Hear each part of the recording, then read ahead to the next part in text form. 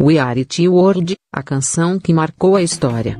Em 1985, a fome tinha endereço definido. Segundo a ONU, milhões de refugiados passavam fome na Etiópia e cerca de um milhão de pessoas morreram. Esse cenário trágico motivou a criação de uma música para angariar fundos de combate à fome no continente africano. A composição Yarity World foi composta por Michael Jackson e Lionel Richie, interpretada pelos 45 maiores nomes da indústria da música norte-americana. A iniciativa rendeu ao todo os dólares 100 milhões. Confira algumas curiosidades sobre a produção. Michael escreveu a música com Richie em casa, na Califórnia. Foi uma semana buscando uma música direta, comovente, fácil e marcante.